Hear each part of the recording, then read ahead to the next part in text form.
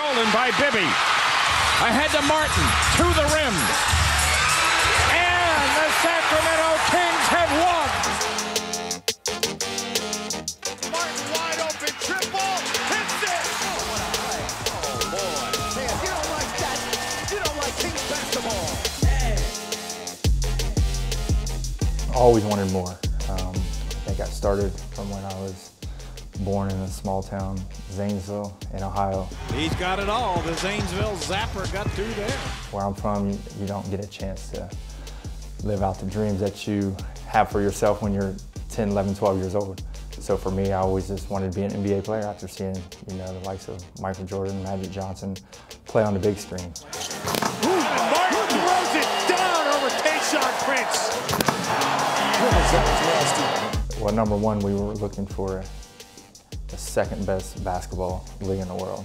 And we feel like we found that. The country of Australia should be very proud of, you know, their basketball brand, how it's viewed in the biggest basketball country in the world that uh, is home to the NBA. You know, we talk about it, ESPN talks about it.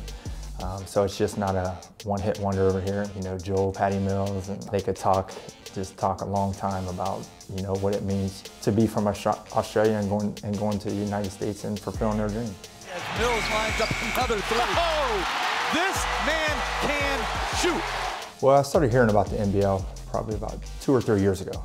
Um, I had a couple people approach me about coming in and owning a team here, but you know, at the time you just hear about it and you're like, oh, okay, it's a nice league, it's coming along. And just, I think, as you guys seen, it really picked up speed. Very quickly, the boxes were all checked when we uh, went to Brisbane.